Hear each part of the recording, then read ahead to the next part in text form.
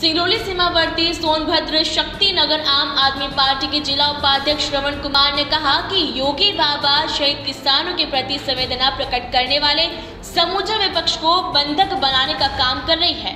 दोषी स्वतंत्र रूप से अब भी घूम रहे हैं। आम आदमी राष्ट्रीय प्रवक्ता एवं उत्तर प्रदेश प्रभारी व संजय सिंह सहित जिला अध्यक्ष नीरज पांडे, जिला महासचिव रमेश गौतम के निर्देशन में जिला उपाध्यक्ष द्वितीय विधानसभा प्रभारी श्रवण कुमार की अध्यक्षता में एवं महासचिव प्रदीप के निर्देशन में भाजपा के केंद्रीय गृह राज्य मंत्री के बेटे एवं गुंडे द्वारा लखीमपुर खीरी में हुए किसानों की गाड़ी से रोंद कर हुई निर्मम हत्या के खिलाफ विरोध प्रदर्शन, रैली एवं दिवंगत किसान व पत्रकार की आत्मा की शांति के लिए शोक सभा का आयोजन किया गया।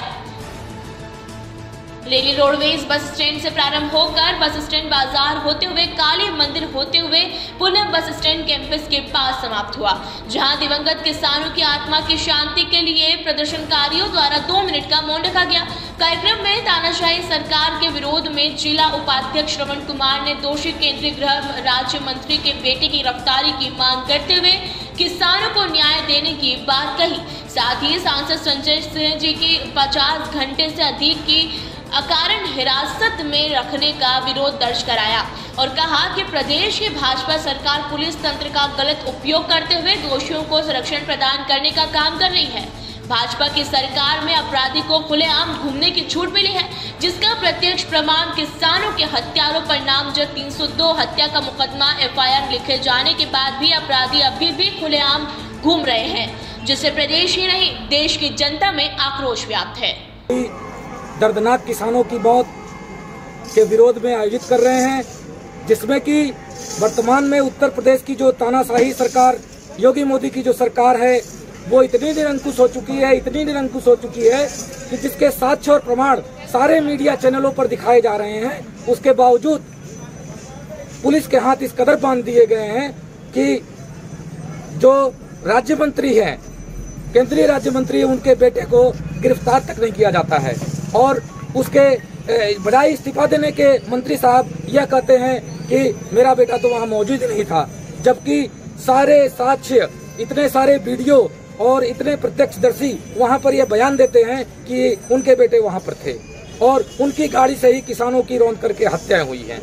इसके बावजूद सरकार और बाकी अन्य कोई भी जो जिम्मेदार व्यक्ति है, उनके कानों पर जू तक नहीं रेंगती है। इसके लिए हम सब आम आदमी पार्टी के कर्मठ साथी, कार्यकर्ता, जुझारू जो लोग हैं, वो सारे अपने सांसद श्री संजय सिंह जी के समर्थन में जो कि आज वहाँ 50 घंटों से उनको रोका गया था आज जाके उनको अनुमति दी गई है और वह घटना स्थल के लिए रवाना हो चुके हैं। इससे पूर्व बिना कारण बताए हुए, बिना किसी नोटिस के उनको गिरफ़्तार करके वहाँ रखा गया था। सीतापुर में सीतापुर में गिरफ़्तार करके उनको रोका गया था। सिर्फ़ उनको ही नहीं, सिर्फ़ आम आदमी पार्टी के ही पदाधिकारियों को नहीं, बल्कि विरोध, इनके विपक्षी जितने भी पार्टियाँ हैं, भाजपा के अलावा जितने भी विपक्षी पार्टियाँ हैं, उन सबको इन लोगों ने नजरबंद कर दिया घरों में, या फिर उनको गिरफ्तारी कर ली थी। तो आप ही बताएँ कि ऐसे ही तानाशाही सरकार में कैसे लोकतंत्र जीवित रह सकता है?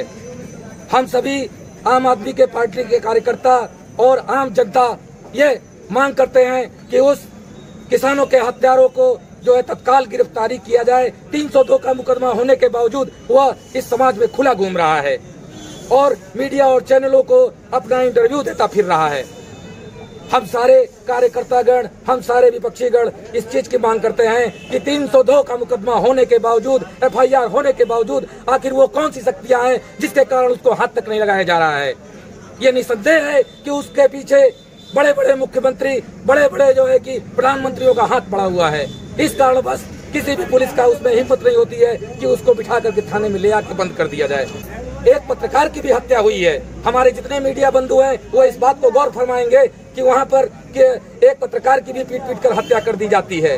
किसानों के काफिलों को गाड़ियों से रौन दिया जाता है और उसके बावजूद उनको गोलियाँ मार दी जाती है। सिंगरौली से उपेंद्र दुबे की ये रिपोर्ट।